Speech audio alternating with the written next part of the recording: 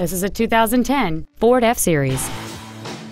It has a 5.4-liter, eight-cylinder engine and a five-speed automatic transmission. Features include a low tire pressure indicator, 12-volt power outlets, a passenger side airbag, a trailer hitch receiver, an engine immobilizer theft deterrent system, an anti-lock braking system, door reinforcement beams, and this vehicle has fewer than 48,000 miles on the odometer. Stop by today and test drive this vehicle for yourself.